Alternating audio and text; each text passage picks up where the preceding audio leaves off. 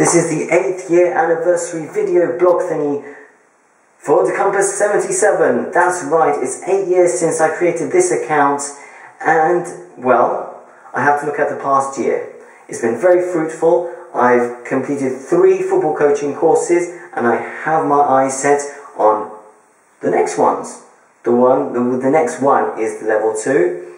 Uh, apart from that, Oh yes, Hull City. I also like Hull City. I will explain more about this in due course, but this vid has to be short because today I'm having a very bad day as far as recording vids goes. So, happy birthday to Compass 77, uh, to Compass 77, yahoo!